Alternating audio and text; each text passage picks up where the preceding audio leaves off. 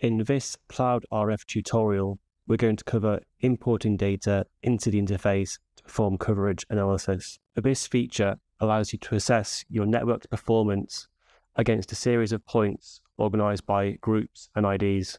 To import our data into the interface, press the Import button on the bottom ribbon, then press Coverage Analysis. We can perform coverage analysis on points in a CSV, KML, or KMZ format.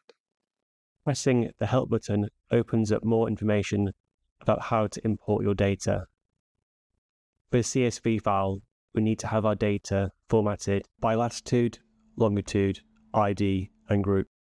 For this tutorial, I've organized my data by latitude, longitude, ID, and group, with ID denoting gates and group denoting terminals. With a valid set of 160 points, I can press OK to upload this into CloudRF.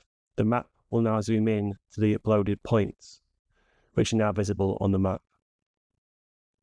The coverage metrics is also visible in the bottom left corner, with points being organized by their group.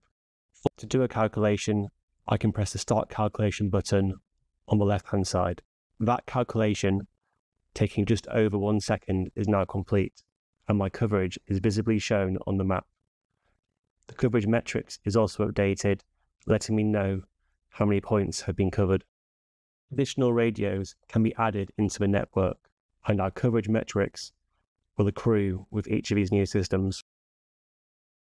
Once we have established our network, we can download our results by pressing the Download button.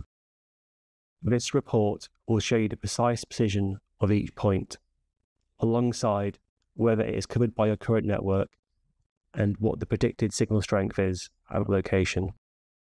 For more information on coverage analysis, you will find a link to our documentation in the description below. If you would like to keep up to date with the new features in CloudRF, subscribe to this channel.